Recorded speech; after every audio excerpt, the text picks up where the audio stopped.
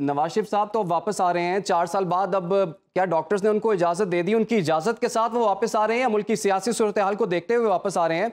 और साथ में ये भी बता दें, वो अब आके करेंगे क्या? इतनी महँगाई है और बयानियाँ जो आप अब बनाने जा रहे हैं, वो तो आपकी पार्टी जो है, उसके अंदर से भी उसके खिलाफ आवाज़ें उठ रही हैं कि ऐसा बयानिया ना बनाया जाए। बिस्मिल्लाहिर्रहमानिर्रहीम। देखें सूरत हाल ये है कि नवाज़ शरीफ साहब बिल्कुल इन अल्लाह के फजल करम से इक्कीस तारीख को वापस आ रहे हैं और उस चीज़ का एक बार नहीं जो मतलब है काफ़ी बार शहबाज शरीफ साहब जो हैं, हमारी पार्टी के सदर हैं, वो भी, उन्होंने भी आज, अभी भी आप अपने एंट्रो में भी दिखा रहे थे कि वो शहबाज शरीफ साहब का और फिर दीगर पॉलिटिकल हमारी जो लीडरशिप है, उन्होंने भी कहा है। हमारी पार्टी की तरफ़ से और मुस्लिम लीग के कारकुनान ने उनके इस्तेमाल की तैयारियाँ जो हैं वो ज़ोर शोर के साथ शुरू कर दी हैं और इन ताला उनका फकीदुल मिसाल इस्तकबाल किया जाए। लेकिन लेकिन अली भाई, बात यह है कि पहले भी तो अभी आपने सुना ही होगा हमारे इंट्रो में कि आपके तमाम लोग कह रहे थे, कोई कह रहा था दिसंबर में आ रहे हैं, कोई कह रहा जनवरी में आ रहे हैं, इतनी डेट्स देने के बावजूद वो आए नहीं थे। तो अब कैसे हम यकीन कर लें कि वो वाकई इक्कीस अक्टूबर को आ रहे हैं और आपने जिन तैयारियों का ज़िक्र किया है, तैयारियाँ तो आपकी धरी की धरी रह जाती हैं, जो तैयारियों वाला इस्तकबाल करने वाला काफिला है, वो तो एयरपोर्ट पहुँच नहीं पाता। लास्ट टाइम हमने देख भी लिया ये।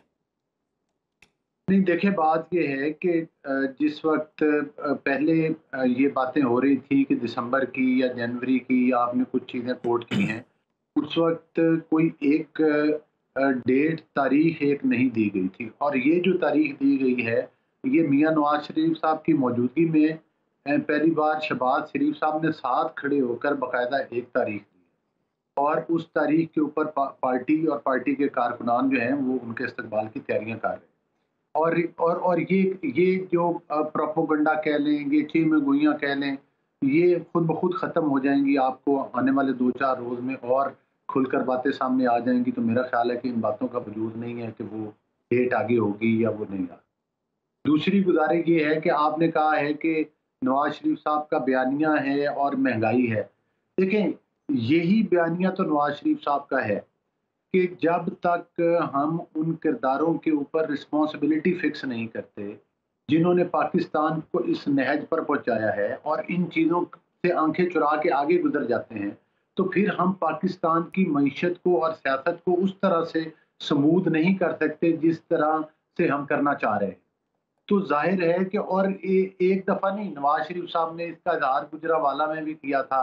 हाँ हमने कभी इदारों के ऊपर चढ़ाई नहीं की। हमने पाकिस्तान के इमलाक को नुकसान नहीं पहुँचाया। हमने हमने बेगुनाह केसों में हमारी लीडरशिप ने दो दो साल जमानतें नहीं हुई कैदो बंद की सोबतें बर्दाश्त की हैं। अपनी बेटी के साथ आकर नवाज़ शरीफ साहब ने कानून के आगे सरेंडर किया था, जब उनकी अलिया ज़िंदगी और मौत की कश्मकश में थी। लेकिन इदारों के ऊपर कोई हमलावर नहीं हुए। हमने किसी पीटीवी पर हमला नहीं किया। हमने कौमी असम्बली के जंगलों के ऊपर शलवारें नहीं लटकाई। हमने सुप्रीम कोर्ट के इर्द गिर्द कब्रें नहीं खुदवाई। हमने हमने शोदा के मुजस्मों को और शोदा की यादगारों को नहीं गिराया। हमने किसी कोर कमांडर हाउस के ऊपर हमला नहीं किया। हमने किसी पुलिस की चौकियों को आग नहीं लगाई। हमने मोटरवेज नहीं जलाए। हमने जलाओ और घिराव की सियासत नहीं की। हमने सिविल नाफरमानी की तहरीकें नहीं चलाई। हमने गैस और बिजली के बिल नहीं जलाए। तो मैं ये समझता हूँ कि पाकिस्तान में अपने हक की बात करना उन किरदारों की वजह से जिनकी वजह से पाकिस्तान में 2018 के इलेक्शन चुराए गए जिसकी वजह से पनामा का ड्रामा रचाया गया जिनकी वजह से जे के ऊपर जो है व्हाट्सएप ग्रुप के ऊपर जे तब्दील होती रही। जिन जजेस के फैसले सुनाने वालों की ऑडियोज और वीडियोस जो थी वो अवाम के सामने आ गई।